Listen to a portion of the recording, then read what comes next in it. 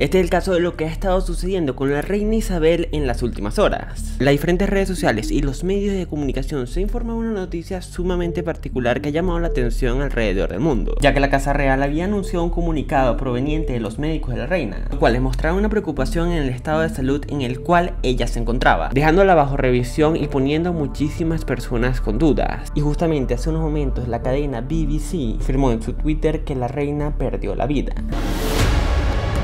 Toda esta situación se da después de varios días de mucha tensión. Puede que se pudieran ver diferentes imágenes sumamente preocupantes, porque pocos días antes la reina que tenía 96 años de edad retiraba de un consejo privado por diferentes recomendaciones de sus doctores, viendo en sí que su situación con respecto a su salud estaba bastante delicada. Otros considerando en su momento que su salud podía que no fuera tan delicada, sino que había sufrido algún tipo de caída. Después de que se le extrajera de esta reunión tan importante se empezaron a considerar otro tipo de variables, llegando hasta este punto donde los médicos comentaron su situación tan débil. Diferentes medios importantes alrededor del mundo han hablado sobre el tema. Por otra parte, una gran cantidad de medios se han trasladado al Palacio de Barboral en Escocia, donde se encontraba la reina bajo la supervisión de estos médicos y a la expectativa del mundo. Con todo esto, la primera ministra había realizado un tuit al respecto de la salud de la reina, diciendo básicamente que el país iba a estar todo el día atento de lo que sucediera con la salud de la reina creando muchos debates y polémicas, ya que algunos pensaban que la reina ya había perdido la vida y otros que simplemente era una información más como todas las otras que habían estado saliendo con el pasar de los años, de que la reina se encontraba en estas circunstancias y no era para nada así.